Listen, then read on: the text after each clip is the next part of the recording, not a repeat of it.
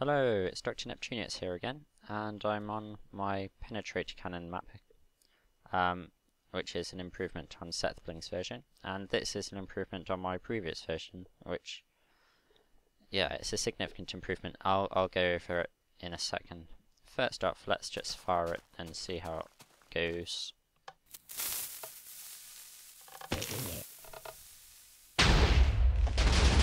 So, yes, massive destruction happening there. Um, so first off, here's how we um, fill it with TNT.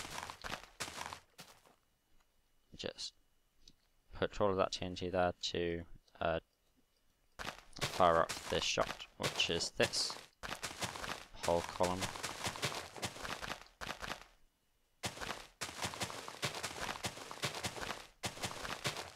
I'll just take note of these positions in single player commands so it can just copy and paste these in the future. Oh.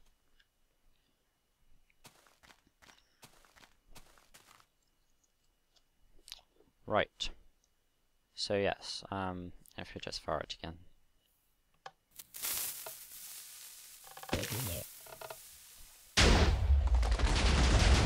So two shots it's done uh, a large amount of damage to that structure. So the principle of this is that um, we'll ha we have these uh, stacks of fence posts and pressure plates.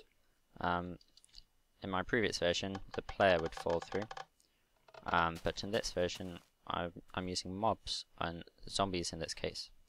Um, so we've got zombies which get spawned out of these dispensers, and a short while later, four ticks later, I believe, um, we have this piston firing off to push the uh, zombie into this fence post, uh, putting it in exactly the right place to go through these pressure plates.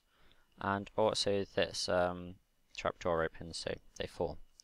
And we have both of these set up to go off at the same time, which means that um, the zombies will be exactly the same place on both sides, and each um, side will trigger off alternate piece of TNT. So compared to my previous design, this means the shot is uh, doubled in power, um, can fit in twice as much TNT, and uh, also you don't need to keep going up and down to uh, fire it off because you just use zombies at the top.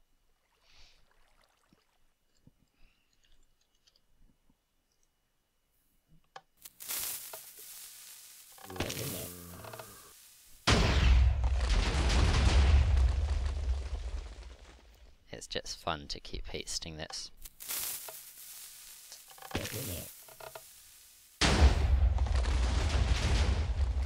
Yeah, pretty awesome.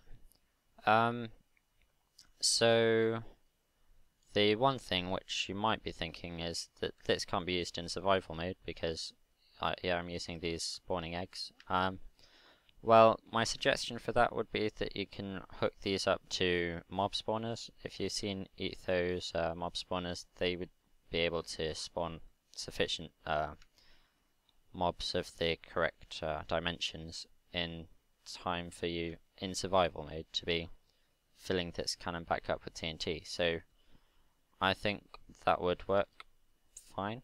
Um, I just haven't set it up because I'm in creative mode and it's a bit of effort for no real gain. Um, so yeah, there's going to be a download in the description. Um, if you like the video or the map or my uh, invention, then please uh, hit like and um, I'll see you next time.